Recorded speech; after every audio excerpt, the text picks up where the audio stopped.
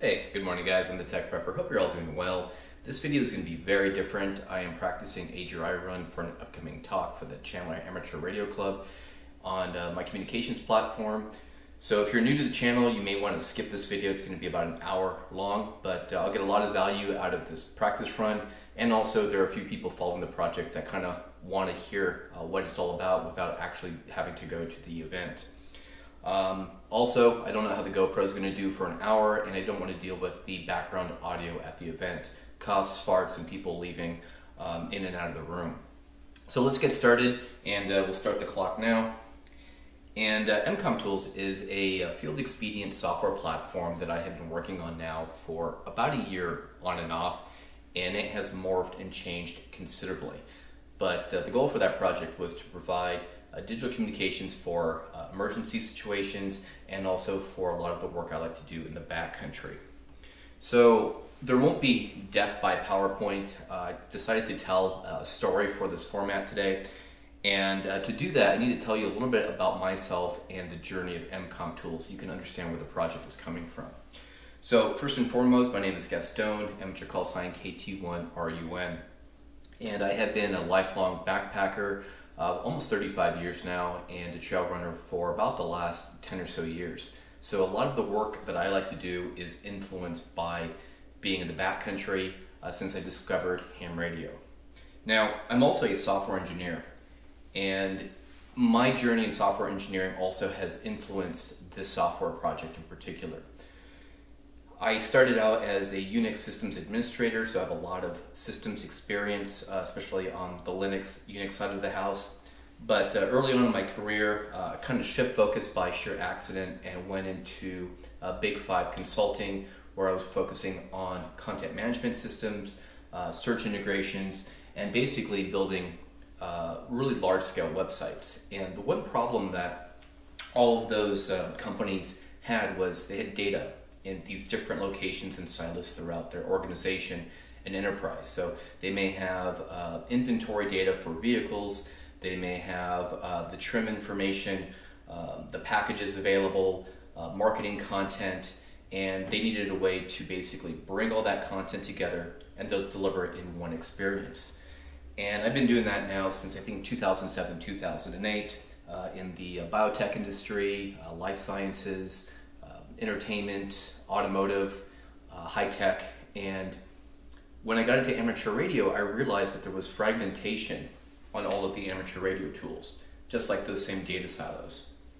And I realized that it would be great if there was one simple experience. And that's really the direction that EmComm Tools took. Now, I'm also a self-proclaimed prepper. I started about eight years ago, I think, after a really bad experience in Southern California while uh, about 100 miles from the home. And uh, I started out prepping like I think everybody else does. I started with uh, an EDC bag, a 72 hour bag, uh, bag for the vehicle, and started with water preps, uh, food storage, medical, um, personal defense. Um, but I had one gap, and that was communications. And the only thing that I found that would solve that problem was amateur radio, and that was back in 2017. Uh, had a hard time getting into the hobby, didn't make a contact for almost two years. Uh, but I think in 2019, I finally made my first contact, and I have spent the last couple years really focusing on communications for preparedness. Now, COVID hit uh, in 2019, and we were temporarily living in California. Uh, yeah, we were in the People's Republic. We left Arizona, were there for about five months, and um, just couldn't deal with the situation and the volume of people. So we bought an off-grid property, or mostly off-grid. We just get electricity out here, and um, that presented some new challenges. Uh, so, you know, imagine it's 2022 today, and we still don't have cell coverage where I live. Um, internet is very unreliable. We have a microwave dish uh, that sits on a roof, and it points at a station, uh, I think about 10 miles away from us on our south and that goes down at least three times a week. Sometimes it's a five minute blip, other times it is um, upwards of 24 hours, and we primarily get our Wi Fi calling. So, modern world, we don't have anything but electricity, and even that is pretty unstable. Our cell phone is unreliable uh, if the Wi Fi goes down, and no access to the internet. So not everybody has this problem, but it has made me very sensitive to um, how to better prepare in the absence of having all of this tech. So the solution at this time was amateur radio. Uh, we had quite literally moved in 2019 with the RV, uh, got to our property, and we had a three-day window for our furniture to arrive. So we really had nothing. And it has been two years since I had been licensed at that point, and I still had not made my first contact. So I had nothing to do.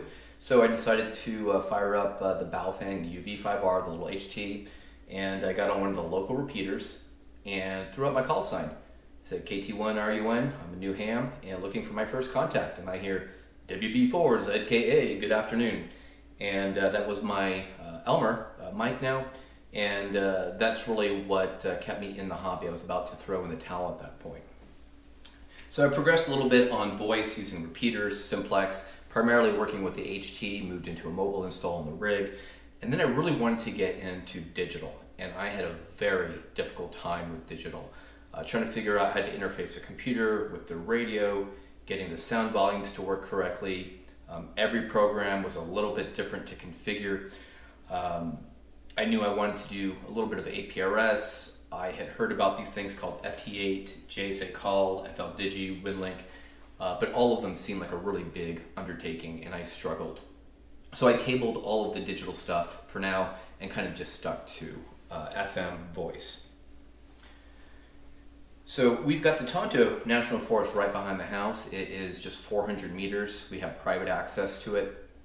And I discovered something called Summits on the Air, or SOTA. And it's an activity whereby amateur radio operators throughout the world will basically load their radio, their antennas, and stick them in a backpack along with their water, food, and support gear. And they'll go to an approved peak, set up the station, and then they have a group of operators called chasers that will try to work that station. Uh, it's a lot of fun. It's a point-based uh, system. Uh, but the point is I got to go outdoors, test out my gear, and by virtue of basically doing field day every single weekend, um, I learned quite a few things about operating off-grid and offline. So this was my first peak. It was Whiskey 7 Alpha stroke Mike November 061, also called Ruin Ridge. And it was fairly hot. Uh, we weren't quite in our summer months yet. I think it was only about 104 degrees Fahrenheit. Uh, I had about just shy of a six mile round trip and a little over a thousand feet of gain. So I get up to the top and I uh, plug in my or deploy my FT818. It's a 5 watt QRP radio. And I find that um, it's a contest weekend and there's lots of chatter on the air. And I can't break through. These guys are running full power in a lot of cases. Um, and I have spent all of this time carrying this gear up this peak uh, just before the summer, over 100 degrees. And I'm almost devastated at this point. Um, I end up making one contact uh, all the way down in Florida from Arizona, uh, but it was not enough to activate the peak. So I figure out, okay, how do I avoid this problem of I've gone through all this effort to set up this remote station and nobody knows where I am. Uh, so what I found was there's something called the Automatic Packet Reporting System, or APRS, and it is found on uh, VHF. And uh, the purpose uh, not the purpose, but one of the major features that hams like is that it provides the ability to beacon your location. So if you have another APRS compatible station, you can see all of the hams in your area and have their GPS location. I was never really interested in it from that perspective, uh, but what I did find is that APRS has another set of capabilities. And you can actually, uh, since the emergence of the internet, it can be bridged with the internet. Uh, there's a series of stations called iGates or internet gateways that interface with radios. And uh, they're deployed across the country. And we actually have one about uh, 30, 40 miles uh, from my location. So I decided to buy this little device called a Mobilinkd TNC2 and connect it to my handheld and then interface it with my phone. And the solution to that problem of not being able to activate the peak or let someone know I was there was solved by a service called APRS to SOTA. So I could quite literally turn on my radio, put it on the APRS calling frequency, uh, connect to the Mobilinkd, and then I could send a special message to APRS to SOTA, that's the station ID, in a very special packet. And the packet format was your peak designator, Whiskey 7 Alpha Stroke Mike November 061, space, your frequency, let's say I wanted to do uh, 2 meters, so I would put in 144 decimal, uh, you know, 410. Uh, your, see, I'm forgetting already the, um, the format. Uh, the mode of operation, FM, your call sign, and then the comment. And I was able to spot myself, send this out there, and all of a sudden I had a pileup. I had people uh, across the country who are monitoring this uh, these spots, and they were able to see exactly which frequency I was on. And all of a sudden, I had like 30 contacts uh, not long after my first attempt. So I get back home, and my wife says, "Hey, I didn't know really where you were. I was thinking about. You spent a lot of time back there, so there's no cell reception." Uh, but I know that APRS had worked for spotting me on the SOTA Summit.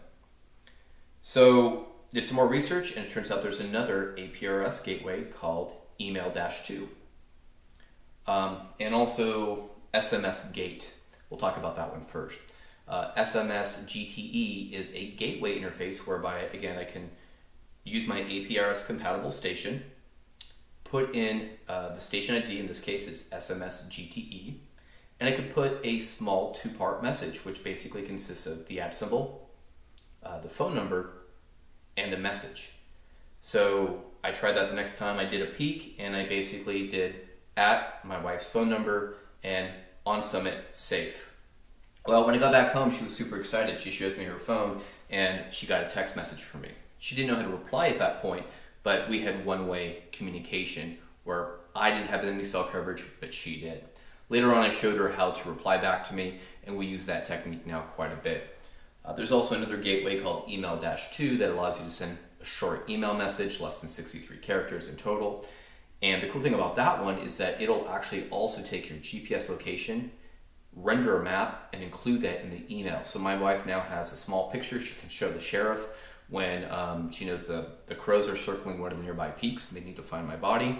But um, these three gateways with APRS completely changed my perspective of amateur radio. So sometime later, I decided to um, upgrade to my general class license. I wanted additional privileges.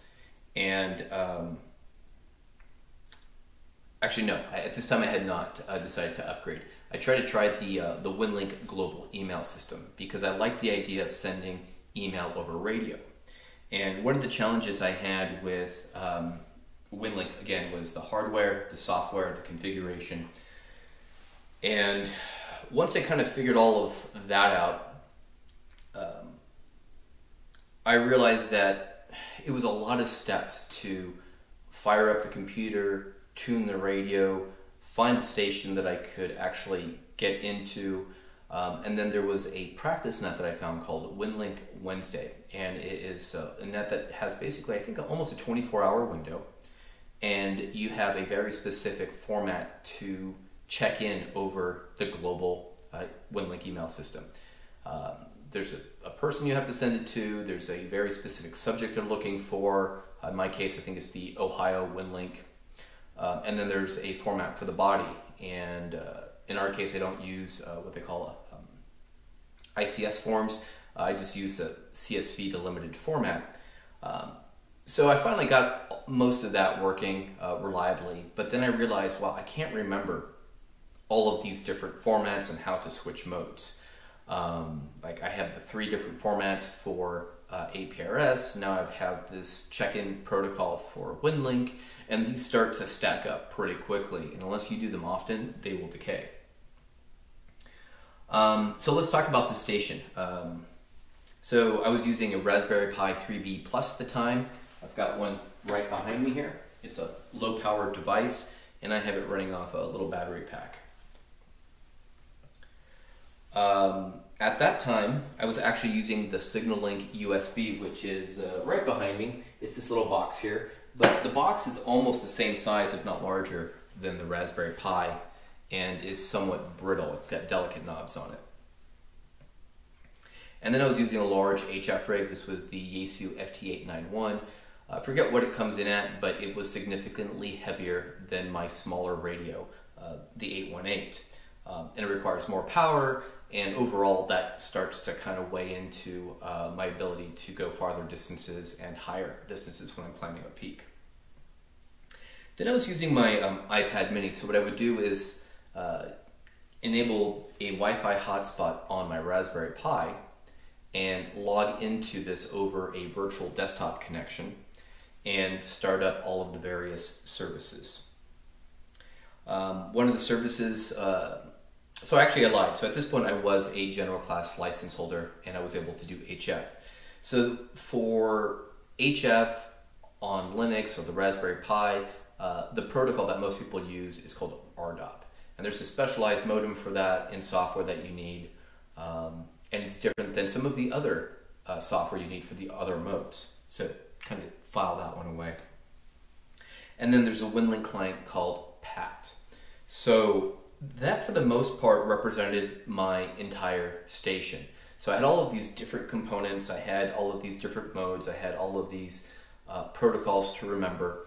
Uh, and you bear in mind, I'm not sitting here at my shack where it's nice and comfortable and climate controlled. Well, it's not climate controlled, but um, yeah, you know, I'm typically sitting on a rock. Sometimes there's rain. Sometimes it's 114 degrees.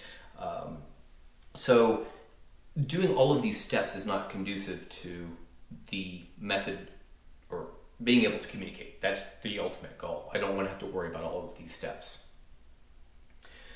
So in 2021, um, there was another chance encounter that changed my way of thinking about emergency communication.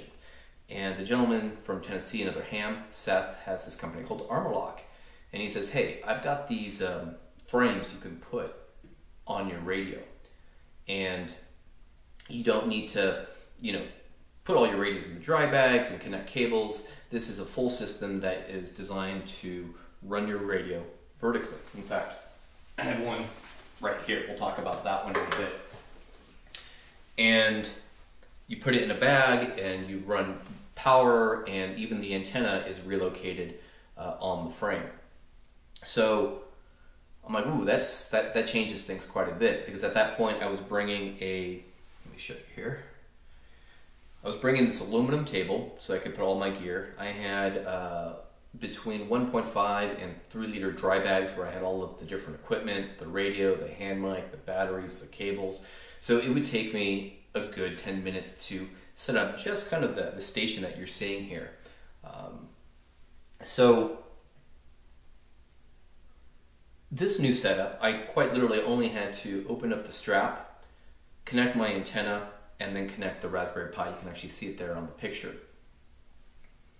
So uh, that was the first major uh, change that I made was going from the table to moving to a pack frame, uh, much more field expedient. Second thing I did is I got rid of the uh, SignalLink USB and I went with a small USB uh, sound card. I went with the Sabrent USB. I think it was like five dollars online, and then I spent thirty dollars on a data cable that would work with it, and it worked well enough. I still have about three of those on my various kits. I also went from the FT891, that 100 watt HF only rig, uh, back down to my Yaesu FT818ND. So I had a little over two pounds in the radio, plus the frames, plus the bag. Uh, so kind of the story that I'm building here is you can kind of see how I'm trying to turn this more into an appliance and a confined uh, system that can be quickly uh, deployed. So field expedient is going to come up quite a bit in the design. I also got rid of the uh, iPad mini, and the way that I did this, uh, we'll talk about in a second, was by writing some software that uh, allowed me to connect to the Pi just using a little web server that I put on here and uh, my phone. So rather now than carrying, even though it's a small iPad mini, now it's just able to pull up my phone and basically turn on and off the Raspberry Pi and do various digital um, modes. And then, like I said, the, the big shift here uh, from the in the Raspberry Pi 3B Plus was my secret sauce, which is the whole point of this video, and that's EmComm Tools, which makes using a whole suite of amateur radio applications much more easy to use, um, and really uh, handy when you're in the field. So uh, for Field Day 2021, EmComm Tools version 0.1 was created. And as you can see here on the application, uh, it was just a simple web interface, and I wanted to do at this point, I think it was two or three things. First, I did not want to have to take my iPad to do a remote desktop connection and start up a bunch of services. And after I was done with all that, I didn't want to have to shut it down. So there's a big button at the top with the toggle. I can basically turn off the entire Raspberry Pi just by hitting that big button and then just kill the power. Um, modes. I had three modes in the original prototype, and it was WinLink ARDOP, so I could do WinLink email messages over HF.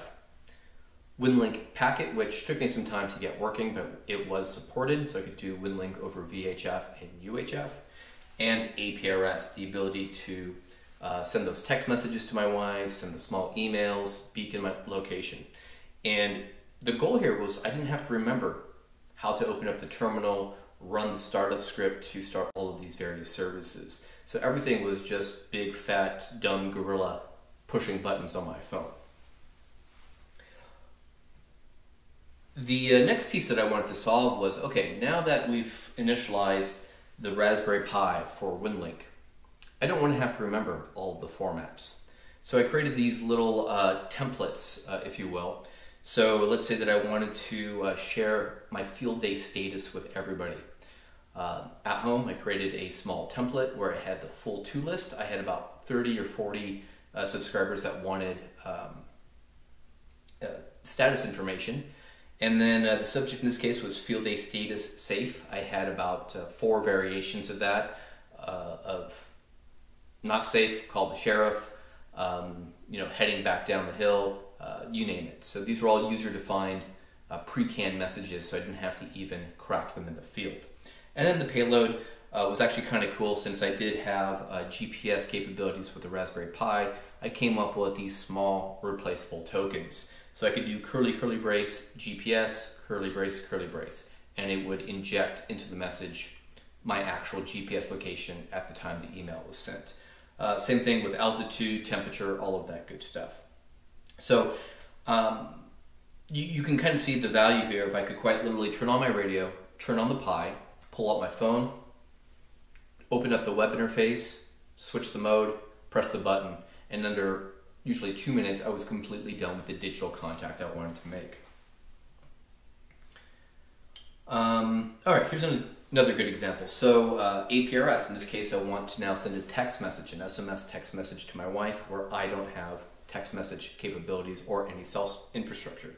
Switch to APRS, and for my two field now, I select SMS gate uh, from the dropdown, and then I put in my, uh, in this case, the alias at wife and my message, and now I have like sent her a, a streamlined message through um, the cell infrastructure going through another radio that got put on the internet, goes through whatever system it needs to go. She gets the text message delivered from the carrier, and we have communication.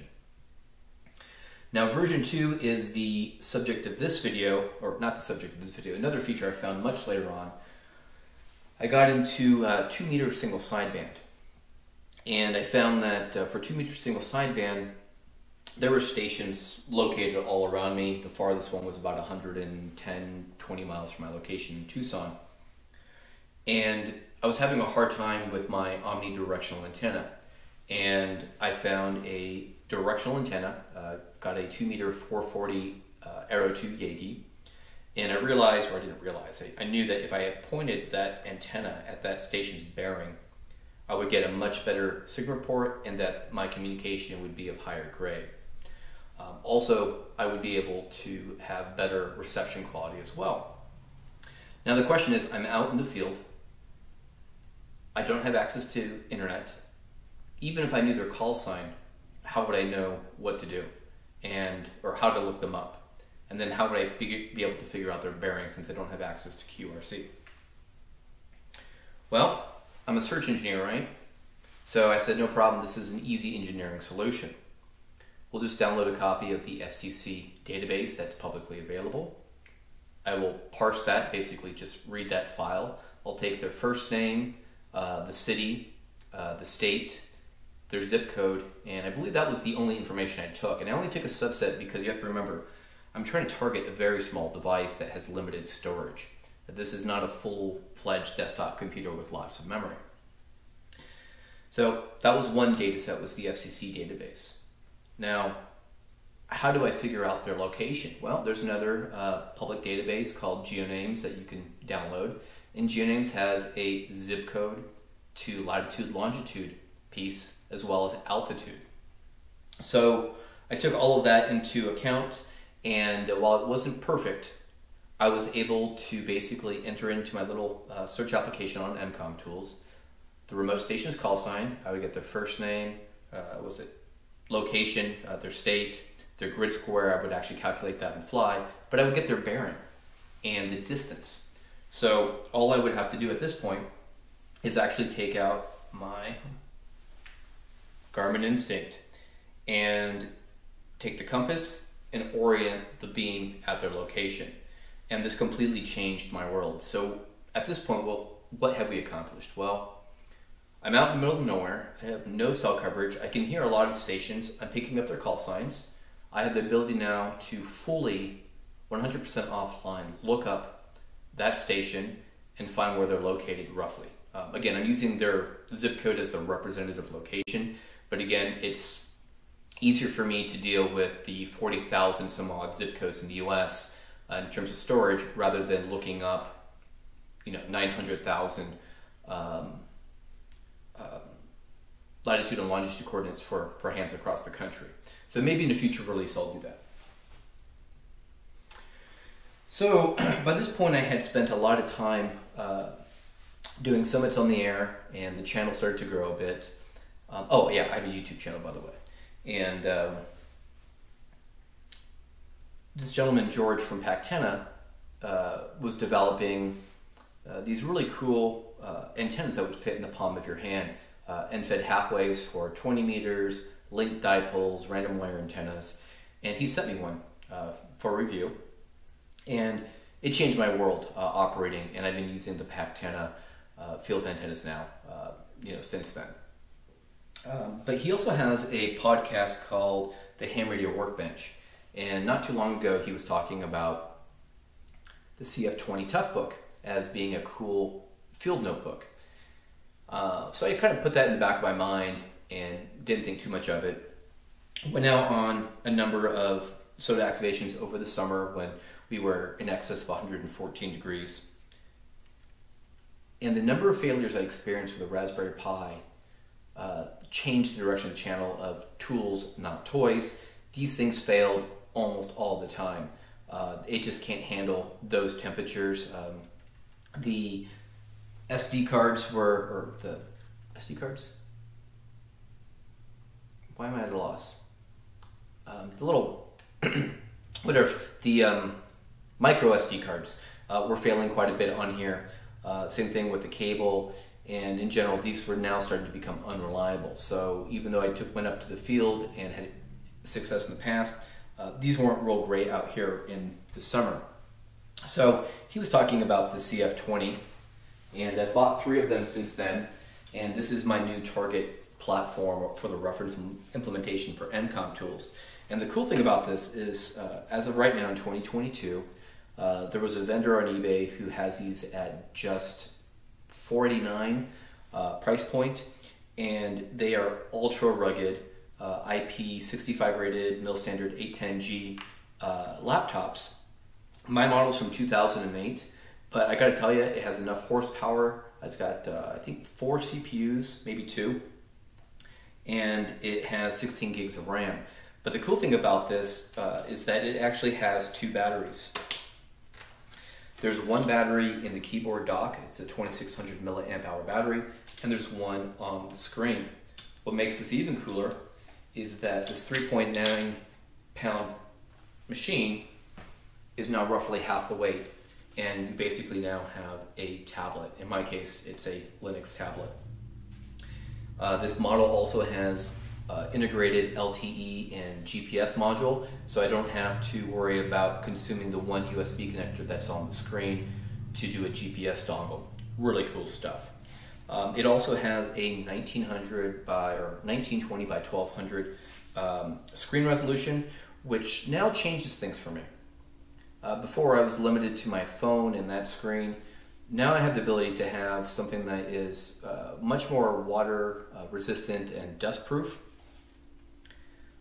Something that is field proven and used in industry, and certainly not a toy like the Raspberry Pi.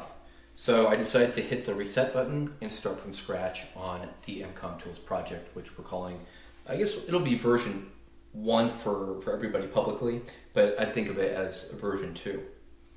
So EmComm Tools right now in its current state is actually targeting Linux, specifically Ubuntu, and specifically uh, this is the target platform because I absolutely think this is the perfect uh, solution for emergency communications for field use. In the picture there, you can see I have gloves on, and you can see the little tiny icons. So there are two takeaways here. First, a lot of the um, ham radio software was, as, while it's fantastic, was developed at a time where uh, everybody had a pointing device, uh, mouse, and the interfaces are very small. They're not really designed for touch. Uh, which is a problem. The second issue uh, that I had was I sweat a lot. Uh, so my iPhone frequently is a failure point for me too when I'm sweating, um, and it barely works with gloves. The CF20 gestures work with sweat, gloves. Like I said, this is not a toy. Um, if I wasn't able to find one for $500, I probably would buy a new one, um, uh, even though it's they're considerably higher. So some of the design decisions were was I wanted to be able to have a platform that would work in full sunlight with gloves with sweat. Offline first. Um, all of the testing I did with the offline call sign database, uh, the ability to uh, not or to operate and use all the capabilities of the software in the absence of any infrastructure was absolutely another core principle I wanted to bring over. And then the same unified experience of being able to switch modes, not having to worry about how to use um, each piece of software. I just wanted to say, today I want to send an email, or today I want to send a text message, or today I want to find another station, and not worry about how to do that across multiple different applications. Um, I'm also moving towards the direction of an appliance. Uh, this, quite literally, is my entire field station. and it takes almost no time to deploy. It's less than two minutes for me to get on the air and start doing digital, and then I can shut it down just as quickly. So I'm calling this uh, what we call in the software industry a reference implementation. Uh, EmComm tools will be available for other platforms like the Raspberry Pi much later, but right now I am really geared towards Linux and specifically the CF20. So I'm going to have to uh, change gears here to jump into a demo. We'll film out separately for, uh, for the YouTubers. All right, after 30 minutes, we're finally able to see the current working version of EmComm Tools. Now, this dashboard or this application is very different than the original version, and it is designed to allow for larger screens like the CF20 tablet or desktop computers, but also will work with smaller devices like your phone. And the first screen here is a dashboard and there are a series of widgets. Starting with the time widget, this will give you local time as well as UTC. The uh, mode switcher is a little bit different. Uh, this time I've opted to make it very simple for the average operator to use. It no longer asks you whether you want to do WinLink packet or WinLink on HF or APRS. Instead, I have uh, generalize that to allow the operator to say, hey, do you want to chat with another operator that's running EmComm tools? Do you want to transfer some data? Uh, typically, this will be uh, sharing a location and some other payload on the tactical map. Uh, the ability to send an email, whether it's through APRS or uh, using another uh, mechanism like WinLink. Uh, file transfer also allows us to transfer files. Uh, it uses FLDigi under the hood, but I've hidden all that. Uh, same thing with text messages. This will allow you to toggle the necessary features to uh, start up APRS so that you can send a SMS text message.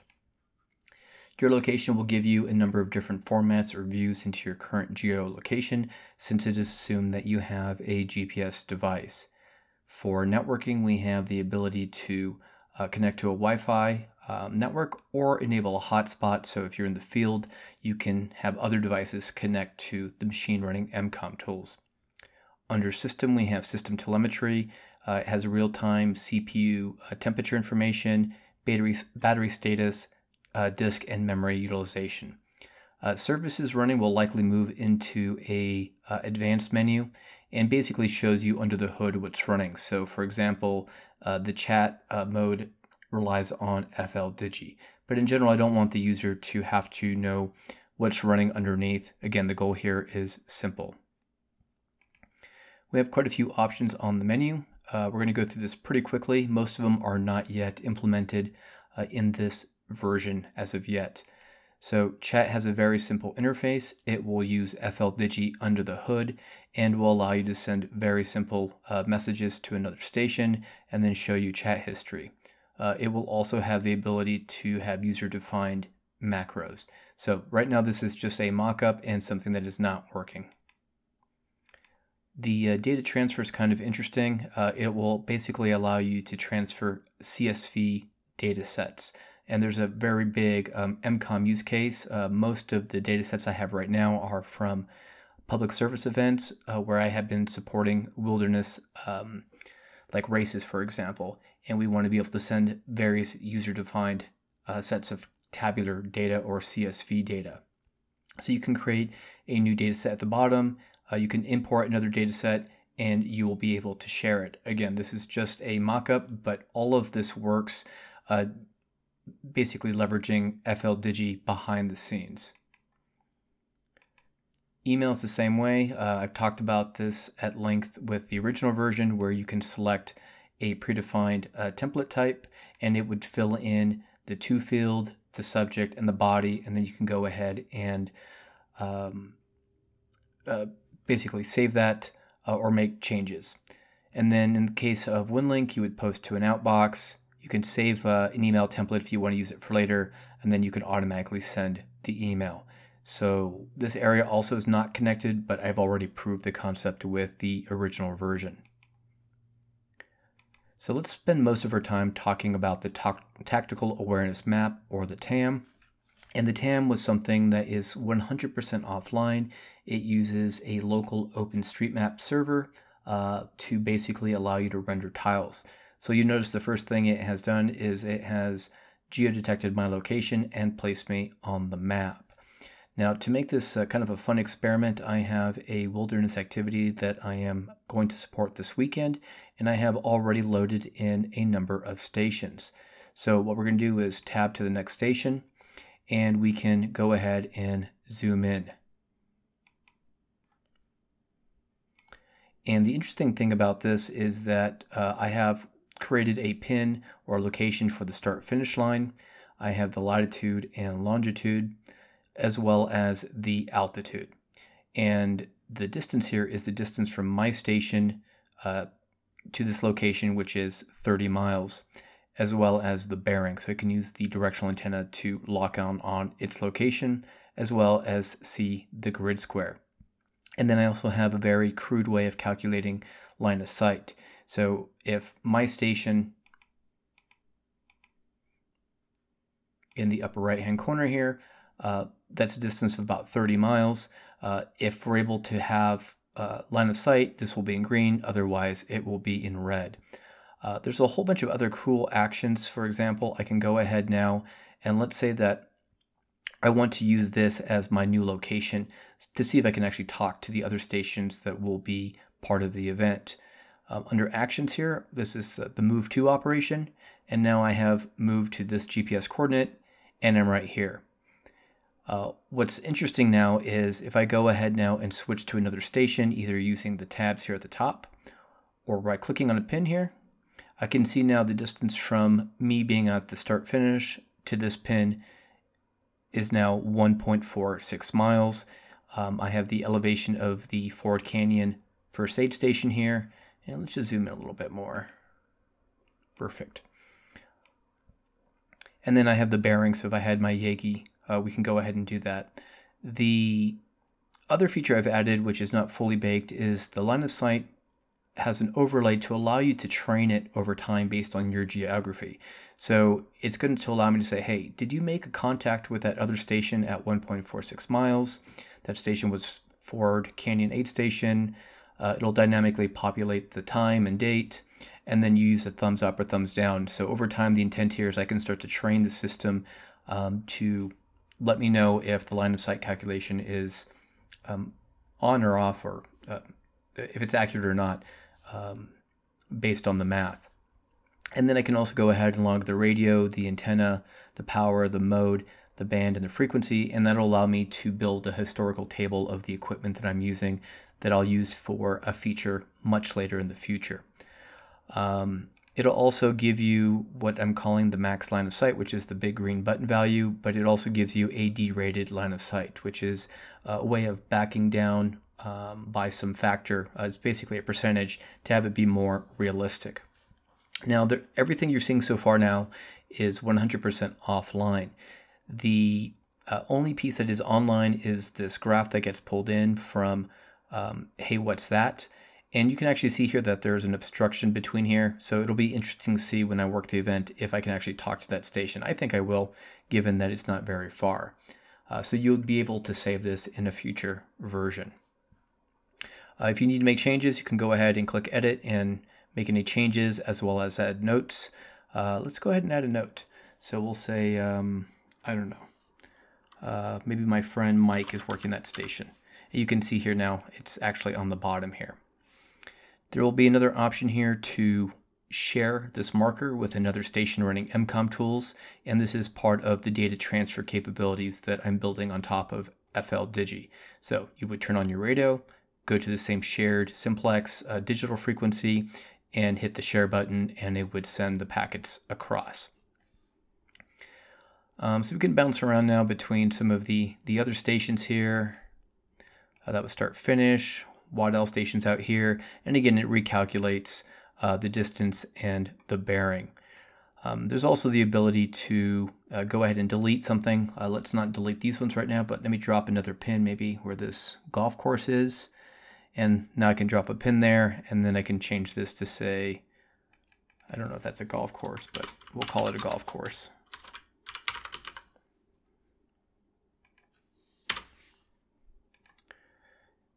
All right, perfect. So those are some of the um, uh, the basic abilities for uh, entering some, some geolocations. Now let's go ahead and take a look at uh, an advanced feature that I built for the call sign uh, database. I think the first thing I want to do now is also go back to me, and I'm going to go back to my actual GPS location by hitting this globe, and it should recenter me over here. Now let's find a station down in Tucson, K7 EME and you can see I'm way up here and it has zoomed us out to the so that we could see the Tucson area. And that distance now is 103 miles. What's funny is that um, I can actually make this contact. So the line of sight calculation um, is based on different elevations. So if you were to take a look at this, you can see that this is my height above ground, and then the, here's the height of the other station. So it thinks they're it doesn't take a path analysis into account like, HeyWhatsThat? Um, it, this is really designed for closer proximity um, contacts. But the point is I can go ahead and search for any call sign. Let's look at my Elmer TPP4ZKA. And there we go. So I could do this all along. I can see, hey, where's my buddy Chris, who's another summit activator. And we can go ahead and click on Chris. Um, you can also see here we get their name, uh, what city they're in, and the state, as well as the representative zip code and all that cool information. Now let's say that we want to go ahead and uh, enter in a GPS coordinates. Um, I'm going to make one up real quick. I'm going to do, I don't know, 34 dash negative 112. I don't even know where this is on the map. And that's not a valid location because they don't have the decimal. All right, so it looks like it's just north of me somewhere in the Tonto National Forest. One thing to also keep in mind here is that the maps that I have cached and offline um, are really for the areas that I'm planning to work because the dataset is fairly large. So if I were to put in my buddy Jason KM4ACK, who's in Tennessee, you can actually see here that there is no map data. Uh, some people who saw this prototype have asked me to go ahead and uh, at least add the the zoom levels at this top level so that if um, you know at least I can see the state outlines and uh, some of the major interstates. So I'll be making that change. So I think that's it pretty much for the tactical application map. Actually, there's one more thing. I've also added this actions button so you can go ahead and open an existing map that you saved. Uh, so I was doing a water expedition uh, trying to navigate to a watering hole. Uh, this was my last SOTA activation and then I had a endurance race that I was supporting last year. So this isn't fully baked, but it allows you the ability to save these actual maps for later use um, and open them. Um, and then I'm planning on adding support so that you can actually import a GPX file or export this current one as a GPX file.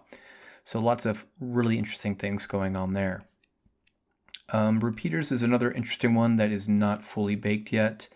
And uh, it'll basically allow you to have a cache copy of repeater book with some additional information, some secret sauce, and it will give you, uh, again, all the information here, um, your distance to that repeater, the bearing, and then everything you need to program that repeater. So there'll be some advanced filtering so I can filter by digital repeaters, uh, certain bands like 2 meter versus 440. So a lot of work is still needed here, but it follows a lot of the same design principles as the TAM or the Tactical Awareness Map. Uh, the last piece here is a console, and this is basically going to provide um, output of when services start and stop. And then you can go ahead and clear the console. So this kind of is the direction I'm going for EmComm tools. Uh, as you can see, uh, it still is some ways away from being complete but I've already proven that it works with the first version that is very much tied to the radio. And this second version, I was concerned more about the user experience and making sure I could actually um, integrate things like a off-grid, offline uh, map. So at any rate, guys, I hope you've enjoyed this quick demo. And uh, for those of you in the room and not on YouTube, I'm happy to answer as many questions if you have uh, regarding all things EmComm tools. All right, guys. Thanks a lot. All right, guys. Well, I hope you enjoyed that uh, little demo. So we we are going to do a little bit more of the uh, propeller head stuff here and talk a little bit about the architecture. So really quite simple. At the lowest layer there, we have what I'm going to call EmComm Tools OS. And it is going to be a an Ubuntu custom uh, image that you can run off of a live USB stick. And at the time of this presentation, that is Ubuntu 10.1. Um, 10.1. Now, to interface the radio, uh, I have two modes uh, that I'm going to support. One is packet, and the other one is a sound interface. So uh, it includes all of the AX25 tooling for packet work. Um, and then for the sound device, I have opted for Direwolf as the software-based TNC. Directly above that, that layer, we have the ham radio application stack. And based on how I want to use and envision this platform, uh, right now there are just three applications that can give me the ability to do text messaging, keyboard to keyboard chat, email, position beaconing, um, sharing my position with other stations that are running the software, and that includes FLDigi. FLDigi is um, my go-to for a lot of the traffic passing and then YAAC for APRS, and then PAT for WinLink. And then my application actually is bundled in a jar file uh, with the front end and the back end. Uh, that's not really, um, we won't worry about that for right now.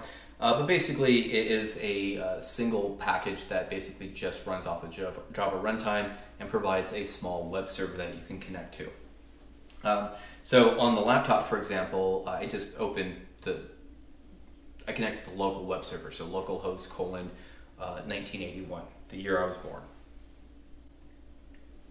So let's talk about milestones. Uh, this project is very slow. I have a full-time job, and everybody's always asking me how I do all the things I do uh, between uh, backpacking, family time, uh, having a 40-hour a week job, uh, the YouTube channel, the software project. Well, uh, it's part of the reason why this project should have only taken four months and now is over a year long. So April 2022, I'll be at American Milsim uh, in a observation capacity, and uh, there's a few guys there that I want to give a tech preview to. The uh, beta or the private beta will be in July 2022, and that's mostly going to be testing with my local emergency emergency communication group here in Maricopa County, as well as a couple of other YouTubers that completely get what I'm doing. Uh, the plan is for August of 22. Anybody who has supported me, any donation, uh, will get in, included in the private beta, and that's on uh, buy, me, buy me a coffee slash thetechprepper.com. And then uh, December 31st, I will hopefully be doing the first public release, um, and it'll be free of charge. So if you guys want to contact me, uh, have a few places, or if you want to learn more about me and what I'm doing, uh, first is YouTube. I have a channel called The Tech Prepper. Uh, Instagram, I post there uh, usually about three to four times per week on everything I'm doing. In fact, it gives you a preview of what I'm working on. Um, I'm not a big fan of Twitter. I find that everybody there is too pedantic, and I hate dealing with trolls, and uh, I just don't have time for that nonsense. But I'm there, and I post occasionally there, maybe once or twice every few weeks. Um, Website, uh, it's there, uh, www.thetechprepper.com. Uh, there are usually some articles there that I'll, I'll write from time to time, uh, but there's not a whole lot of content um, at this point. Um, and then obviously, uh, buy me a coffee slash the tech prepper, and uh, that's just a place where I actually will uh, do lots of updates on the progression of EmComm tools. Typically, there there are five minute short videos um, that are they're public if you find the link, but it's just a, a, thank you I'm doing for the group that follows me there, and then I typically have a small newsletter that I'll send out every two weeks. So at this point, I'll take questions since we're on YouTube uh, and I'm talking at the camera. Can't answer any of those. So thank you. All right, guys, I'm the Tech Prepper. Be strong, be safe, and be prepared.